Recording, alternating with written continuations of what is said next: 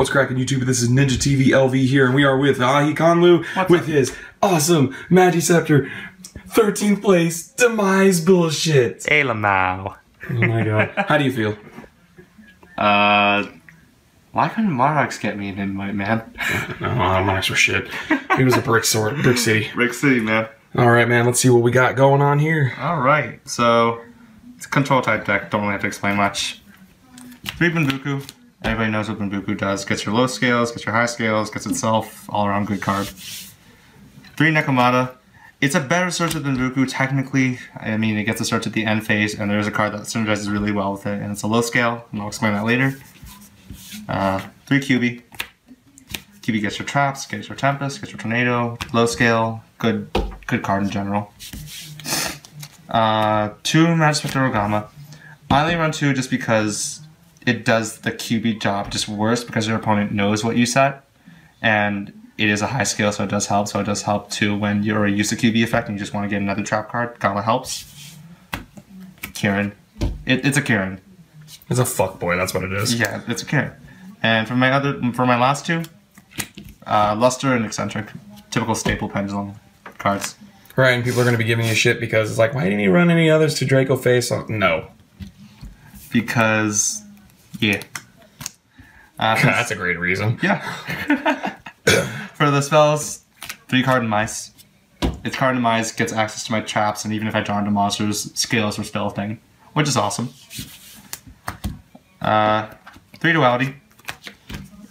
You can basically get anything you need if depending on the situation. Sometimes I've drawn crap with it, but all around I've really liked it so far. And for the last of the spells, the one interesting thing we don't we try not to talk about right now. We're poor. Shut We're up. very poor. we tried to get a, se- a second secret, but a guy bailed in us last minute, so I saw a terrifying forming in my binder and decided, yeah, why not? It was a last minute fucking card. Yep. I didn't want to one only run only one, so I figured, hey, Terraform's a good substitute. Why not? Has anybody really like blown it up or do they just like lost to it? They've lost to it sometimes because like I popped that off on a Cyber Angel player. They couldn't really do much. Right. Just like I play this. Okay, cool. I summon uh, uh I summoned Bunbuku, Yeah. sat on it, and it's like I would just I would have been like, okay, that and you know, yeah. hey, uh, whatever the fucking uh, ally justice card is, it just says you can't special summon lights. You're Yeah. fucked. All right. Uh, for the traps, three Tempests. Basically, it's a Solemn Strike. If you know Solemn Strike, so it's the same exact thing, except you don't neg with life points. Uh, two Tornado. I really want to bump this card up to three just because it hits so much of the Neptabyss to the Dante to just non-destruction in general is not bad in this format right now, in my opinion. Uh, two strikes. I do the strikes uh, only a two mainly because I already do run three natural strikes in the Majespecter deck, and this is for when I don't want to get rid of any monsters on my field. It is nice to have. One warning. It's a warning. Go Solemn Brigade. Yeah, Solemn Brigade. All I'm missing is a scolding, but that's terrible here. Uh, three drownings. More than likely, turn one you will have an empty field, so drowning helps. It's a drowning. Great card. Uh, two stormings. I like it because Majespecters are weak. If you don't have Kirin on field or any of your back row, more than likely you will get screwed over by an attack. So the storming helps, especially if they're trying to go for game. Uh, three Pendulum Reborns. This card I love so much in this deck right now. Because even if you drop monsters off the Card of Demise, if you set one Pen Reborn, then it really does help. Because I've done something where I summon no- I normal summon Nekomata and deliberately got the cure into my hand just so I can ditch it for Pen Reborn. And there's also the fact that you can activate Pen Reborn during your opponent's turn during the end phase to get the Nekomata search off right away to get the to use the card for your next turn. Thins out the deck, it's a great card, honestly. Uh, Chaos Chapel, it's everything in the meta. Don't need to explain that. Two Magic Drain. I love this card personally because my logic behind it is that even if I don't negate the thing I want you to negate, they still have to neg themselves. And I even fell more in love with this card when I ended up Magic Draining a Pot of Desires and they were not able to ditch anything. So that was really funny. I mean, ditch anything. He wasn't able to ditch a spell to negate the Magic Drain. Oh yeah, yeah. So he banished for cost. I flipped Magic Drain. and That was it. Uh, for extra deck, Ignister. It's an Ignister. Dante. I run this naturally because I can go into it with Majespecters and also for the Winter Cherry side. It's a Dante. One Grand Pulse for black, board clear and a good defense. One Totem Bird because Majespecters can run this very easily, and it's also good against a Drowning or Storming if you want to go for game. Break Sword for general board clear if you want, to, or if you have bum scales that you just kind of want to get rid of, you can do that. One Nightmare Shark, go for game, 2k direct to the face, not much to say. Fist Dweller, hits everything, stops BA, again, simple, stable. Emerald to recycle, whatever, if you don't have any Pendulum Reborns or use too many Exceeds. I didn't even see it really, so.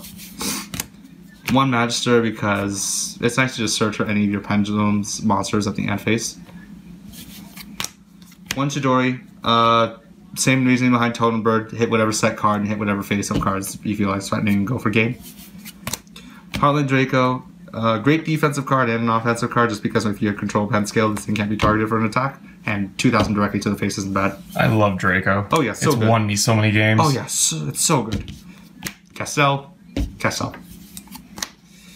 For a Trapeze Magician, OTK potential. I mean, you target a Kira and it can attack for 4k. And Utopia for lightning. To get over whatever big beater you can't get over for whatever reason. Now for the side deck, two Winter Cherries. I know people are very in a love-hate relationship with this card. I love this card personally because I feel like it's better for control compared to the Flying Sea. And since I run the Dante naturally, it's easier for me to just put this in without them knowing that I have a Dante in my extra deck. Two Quarantine, hits the Blue Eyes, hits Cyber Angels. Great card in general right now. Card is so good this format. It's way too good this format. Uh, system downs. I didn't really see Kozmo players. I saw like one Kozmo matchup, but I kept it in just in case. And plus, I wanted to like kind of get used to having that in my side since ABCs and Crystrons are going to become a thing eventually. Mistaken Arrest. I did not know how I felt about this card until I actually tried it this regionals because my opponent ended up when I oh, when he did Neptabyss, he dished Dragoons. I did Mistaken Arrest, so he didn't get the Neptabyss effect and he couldn't get the Dragoons effect off at the same time. And it also helps against Cyber Angels because they search a lot with pre-prep, and I mean a lot. Two MSTs because if you run a Demise deck, more than likely you won't have a hand, or you'll have very little hand that you want to ditch. So MST is a better option. One Tornado. I want to bump. I want to put it in my main deck again. Bump up Tornado up to three. I already explained Tornado. Uh, two Debunks. Hits PA, hits Mermails, because if you hit the Megalo, they can't really OTK you quick enough.